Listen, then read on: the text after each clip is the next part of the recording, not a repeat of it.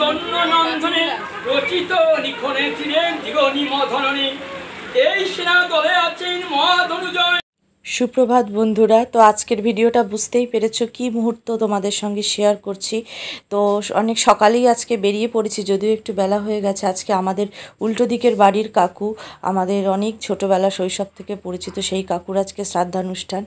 তো ক্যান্সারে বহুদিন ধরেই কাকু কষ্ট পাচ্ছিলেন তো সেই কাকুরই আজকে শ্রাদ্ধানুষ্ঠানের মুহূর্ত শেয়ার করব।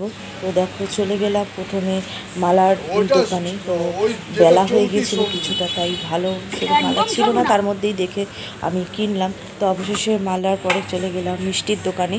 তো মিষ্টি নিয়ে নিলাম।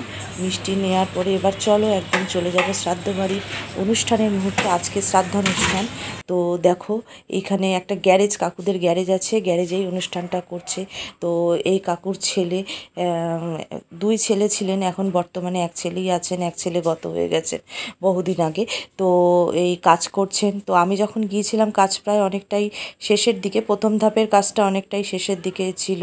তো তোমাদের সঙ্গে সেই শ্রাদ্ধের কাজটা শেয়ার করলাম। এবার দ্বিতীয় ধাপের কাজ দেখো বাড়িতে এটা নারায়ণের যে পুজোটা দিয়ে হয়, দ্বিতীয় ধাপে ঘরে এনে এবার সাত পুরুষের জল দেওয়া যে আরও মানে কাকুর মা, বাবা, প্রত্যেকের ছবির সামনেই দ্বিতীয় ধাপের কাজটা সম্পূর্ণ হচ্ছে। গীতা পাঠের মাধ্যমে প্রথমে বাংলা সংস্কৃত মানে ঠাকুরমশাই খুব মানে পাঠ করছিলেন, বসে বসে শুনছিলাম।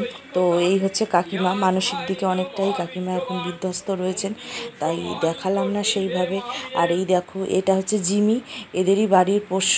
তা যেদিন থেকে কাকু নেই, চলে গেছেন মানে এরা দেখেছি আমি যে কীভাবে বসেছিল কাকুর ছবি মানে বডির সামনে। মানে পোষ্য প্রাণীরাও হয়তো বুঝতে পারে। তো চলো, এবার শ্রাদ্ধানুষ্ঠানে আজকে নিরামিষ যেরকম সাধারণ খাওয়া হয়, ডাল পটলের কষা, আলু পটলের কষা, পাঁপড় ভাজা, বেগুন ভাজা। তো এই দিয়ে খাওয়ার মাধ্যমে আজকের ভিডিওটা শেষ করলাম। তো সকলে ভালো থেকো